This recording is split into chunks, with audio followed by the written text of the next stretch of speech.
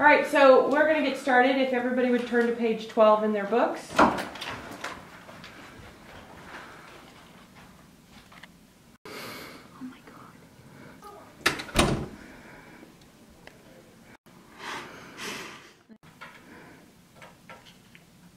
They look like retards.